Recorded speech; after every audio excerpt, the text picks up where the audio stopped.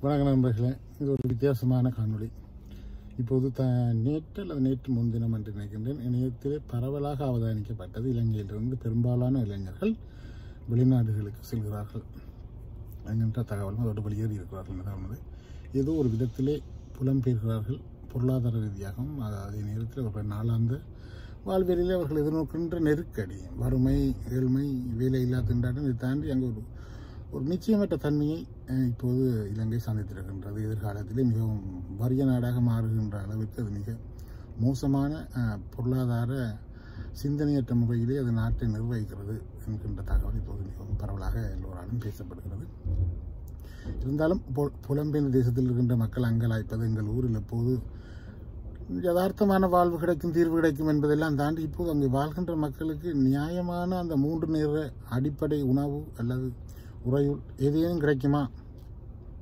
மா அல்லது இனி வரும் காலங்களிலே அவர்கள் ஒரு சாதாரண மனிதன் போல் தங்களுடைய தேவைகளை நிறைவு செய்து கொண்டு வாழக்கூடிய வகையிலே அவர்களுக்கு இருக்குமா என்றால் அது இல்லை.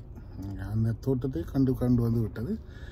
இருந்தாலும் இந்த புலம்பெயர்கின்ற மக்களுக்கு புலம்பெயர்ந்தவன் என்ற இதிலே சொல்கிறேன்.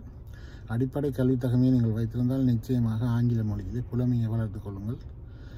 யாரிடமும் வெக்கப்படாமல் வேதனைப்படாமல் சில பேர் அவமானமாக பேசுவார்கள். சில பேர் இவருக்கு என்ன தெரியும்? இவர் இவருக்கு என்ன தெரியும்? ஒன்றும் தெரியாது. என்று கூட உங்களை தாழ்வாக பேசுவார்கள். எங்கே முன்னேற போகிறார்? இவரிடம் அப்படியான சாணக்கியம் இல்லை அதற்கான தகமையும் இல்லை என்று சொல்லி உங்களை நிராகரிப்பார்கள். அநேகமான இடங்களிலே அந்த ஒரு அவமானமாக வரும். அதாவது உயர்கல்வி தகமை வைத்திரு வைத்திருப்பவர்களோடு உங்களை அவர்கள் ஒப்பிட்டு பார்த்து சில வேளைகளிலே அடிப்படை கல்வி தகமையோடு நீங்கள் இருந்தால் உங்களை அவர்கள் பரிகாசம் செய்யக்கூடும் சங்கோஜமாக பார்க்கக்கூடும்.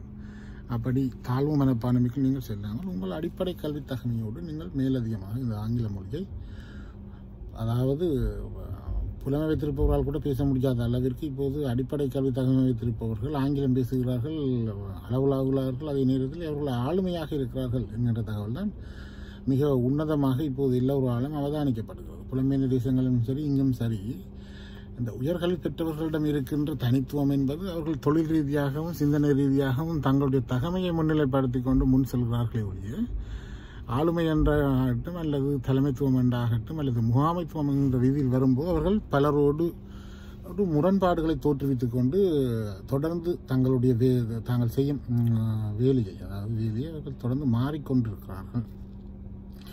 அடிப்படை கல்வித்தமையோடு வருபவர்கள் அங்கே தொடர்ந்து நின்று விடுகிறார்கள் அதே நேரத்தில் அவர்களுக்கு வருகின்ற சவால்களை இலகுவாக கையாள்கிறார்கள் ஆளுமையினால். என்பதுதான் அது. இப்போது அவர்கள் எல்லோராலும் இங்கே பேசப்படுவது. எனவே பன்முகத்தன்மையை வளர்த்து கொள்ளுங்கள். அது மொழியாகட்டும் அல்லது கலாச்சாரமாகட்டும் பண்பாடாகட்டும் முதலிலே ஆளுமை என்பது நீங்கள் இன்னொருவரோடு பேசுவது அல்லது பழகுவது அல்லது உங்களை முன்னிலைப்படுத்தி நீங்கள் அவர்களுடைய எண்ணமும் சிந்தனைக்கும் உங்களை எப்படி நீங்கள் உள்வாங்கிக் கொண்டு அவர்களால் எதிர்பார்க்கின்ற வினைத்திறனை அவர்கள் முன்னிலையில் நீங்கள் பேச்சிலேயும் காண்பிப்பதை காட்டிலும் நீங்கள் செயலில் காண்பித்தால் இந்த டெடிகேஷன் ஆஃப் த டியூட்டின்னு சொல்வார்கள் அந்த ஜாப் டெடிகேஷன் தான் இங்கே சொல்லுவாங்க dedication and also they say for forward well forward leadership இங்கே சொல்கிறார்கள் dedication of the duty and forward the leadership and quality uh, improvement of management or satisfaction of the boss என்று இதற்கு இங்கே இப்போது சா- நாளாந்தரமாக பேசுகிறார்கள் quality என்பது வந்து ஒரு முகாமைத்துவத்துக்குள்ளே உங்களிடம் இருக்கிற தனித்திறமையினால் அங்கே வினைத்திறனை அதிகரிப்பர். தகமையை காட்டிலும் தகமையற்றவர்களுடைய வினத்திறன் மிகவும் பயனுள்ளதாகவும் அதே நேரத்தில் வினத்திறன் கூடியதாகவும் நேரத்தில் வேகமாகவும் இருக்கிறது விவேகமாகவும் இருக்கிறது. இதைத்தான் இப்போது நான் உங்களால் கூற முடியும். யாரேனும் புலம்பெயர்ந்தவர் இருந்தால் இந்த காணொலியை அமைதியாக கேட்டுவிட்டு உங்களால் என்ன செய்ய முடியும் என்பது மொழியை நீங்கள் நாவன்மையையும் மொழியையும் வளர்த்து கொள்ளுங்கள். இப்போது இங்கே அவர்களைத்தான் கேட்கிறார்கள்.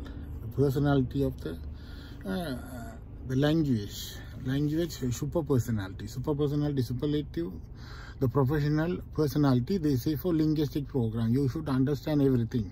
But you can't explain anything and you are not fit for any any uh, creditable post or for the leadership quality. You should focus your linguistic and understanding everybody and should focus and cooperate forward to the uh, development and improvement of the uh, something uh, for their the benefit or their social economy they should understand focus and they, they how to improve their business this is the fact. They every every every year they the Friday morning they explain us and lecturing us. So I pick up for this my experience, not for my qualification or the intellectual or for my academic qualification. This is the criteria here every Friday. I work the last uh, nine months or six months. They are advising us how to improve the job and output and input go very fast. Uh, they are uh, the timing of the duty and timing of the job and credit for go to your benefit and salary. Thank you.